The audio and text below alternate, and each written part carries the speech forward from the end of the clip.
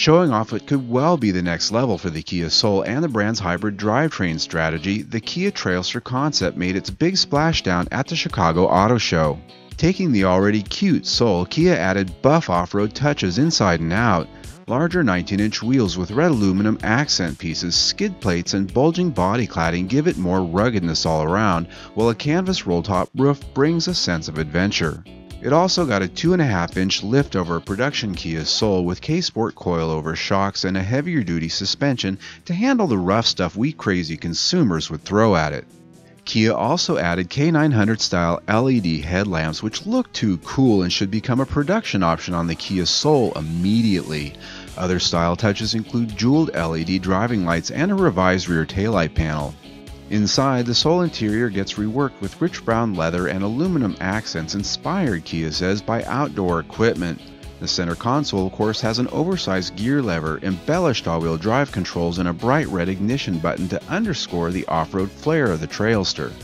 The roll-top canvas roof brings a nice open-air feel to the interior just as the glass panoramic roof currently available on the Soul does, but this scenario is a lot lighter and gives a full open-air vibe.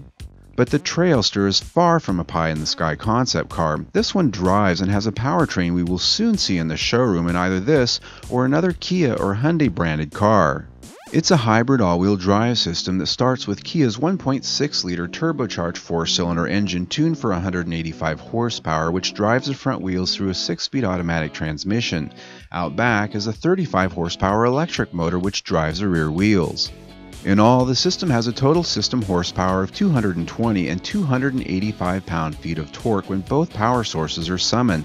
That makes it the most powerful Kia Soul we've ever seen. Like most hybrids, it can operate in a number of different ways. The gasoline engine is the primary drive unit, assisted by the rear motor, adding power to compensate for turbo lag in high performance situations. The rear motor also provides robust all wheel drive traction for snow, mud, and overall bad natured fun. In less extreme modes, a Trailster can behave like any other hybrid, providing up to 25 to 30% better fuel efficiency. It can operate in electric mode for up to 3 miles with the engine turned off, pulling power from its lithium ion battery, which resides under the rear floor. The electric motor at the rear can provide regenerative braking to charge that battery, and a motor generator under the hood enables the engine's robust start stop capabilities. Our take here is that this baby is headed to a showroom soon, or something very much like it is. The powertrain is one Kia and Hyundai have already been engineering and testing for some time and is all but production ready. I'm Sam Haymart for Test Driven TV. I hope you enjoyed the ride.